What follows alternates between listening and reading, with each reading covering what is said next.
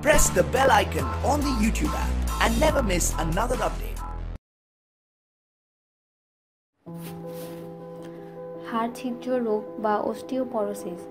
পরামর্শ দিয়েছেন বিশিষ্ট বাত ব্যথা, প্যারালাইসিস ও রিহেব ফিজিও বিশেষজ্ঞ ডক্টর মোহাম্মদ শফিউল্লাহ প্রধান। মানুষের শরীরে দুশো ছয়খানা হাড় বা অস্থি থাকে। স্বাভাবিক গঠনে হাড়, আমিষ, কোলাজেন, ক্যালসিয়াম ও ফসফেট থাকে বলে হাড় শক্তিশালী হয়।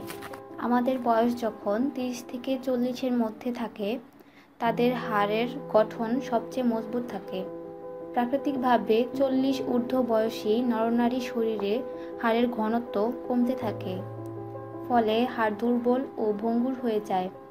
হাড়ের এই হ্রাসের পরিমাণ নির্ভর করে ব্যক্তির বয়স, স্বাস্থ্য, খাদ্যাভ্যাস, বংশানুক্রম এর উপর। চিকিৎসা বিজ্ঞানের মতে, একে হাড় ছিদ্র রোগ বা অস্টিওপরোসিস বলে। অস্টিওপরোসিস বা হাড়ের ছিদ্র রোগ কী? হাড়ের ভেতর ঘনত্ব বাড়া বা কমা একটি চলমান প্রক্রিয়া। ষোলো থেকে আঠারো বছর বয়সে হাড়ের দৈর্ঘ্য বৃদ্ধি বন্ধ হয়ে যায়। কিন্তু বিশ বছর বয়স পর্যন্ত হাড়ের ঘনত্ব ধীরে ধীরে বাড়ে। যখন বয়স চল্লিশ ঊর্ধ্ব হয়, স্বাভাবিকভাবে হাড়ের অস্টিওব্লাস্টিক প্রক্রিয়া কমে গিয়ে অস্টিওক্লাস্টিক প্রক্রিয়া বেড়ে যায়, ফলে হাড় ক্ষয় হওয়া শুরু হয়। এই অবস্থাকে অস্টিওপরোসিস বলা হয়। অস্টিওপরোসিস বা হাড়ের ছিদ্র রোগের প্রাদুর্ভাব।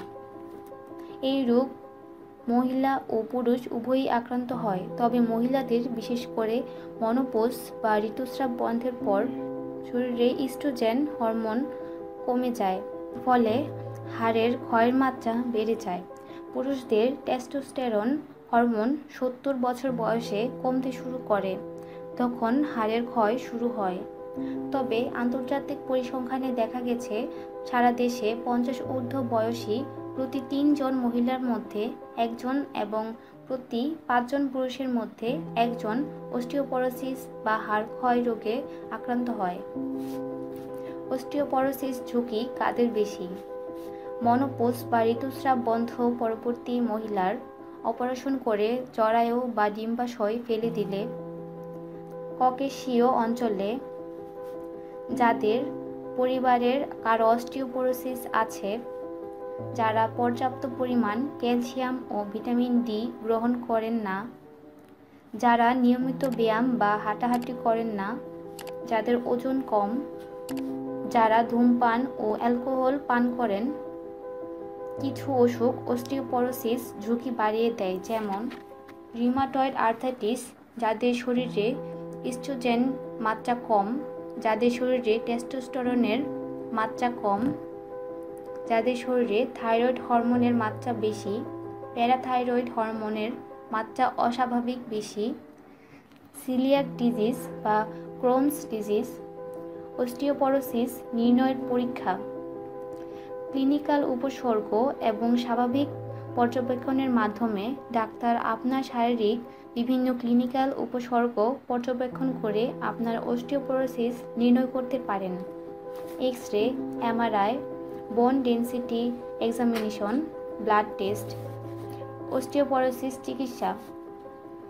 অস্টিওপোরোসিসে ব্যথা বেদনা কমাতে রিহেব ফিজিও অন্যান্য পার্শ্ব প্রতিক্রিয়াবিহীন চিকিৎসা। বিভিন্ন বৈজ্ঞানিক ব্যায়াম, হাড় জোড়া ও মাংসপেশির সচলতা বাড়ায় ও মানুষকে কর্মক্ষম রাখে। সঠিক সময়ে অস্টিওপরোসিসের চিকিৎসা না নিলে দেহের বিভিন্ন অংশের হাড় ভেঙে যাওয়ার ঝুঁকি বেড়ে যায়। শারীরিক, মানসিক ও আর্থিক বিবেচনায় দুঃসহ জীবনযাপন করতে হয়। বিশ্বজুড়ে প্রতি পাঁচজনে একজন রুগী হাড় ভাঙার এক বছরের মধ্যে মারা যায়। কাজেই অস্টিওপরোসিসের চিকিৎসা প্রয়োজনীয়তার দিকে সচেতন হওয়া উচিত। জীবনযাত্রার সঠিক নিয়মগুলো মেনে চলা উচিত। নিয়মিত ব্যায়াম করা, ধূমপান ও অ্যালকোহল বর্জন করা, শরীরে ওজন কমানো ফাস্টফুড ও চর্বি জাতীয় খাদ্য এড়িয়ে চলা, পর্যাপ্ত পরিমাণ ক্যালসিয়াম ও ভিটামিন ডি সমৃদ্ধ খাবার যেমন ছোট মাছ, দুধ, ডিম ইত্যাদি গ্রহণ করা।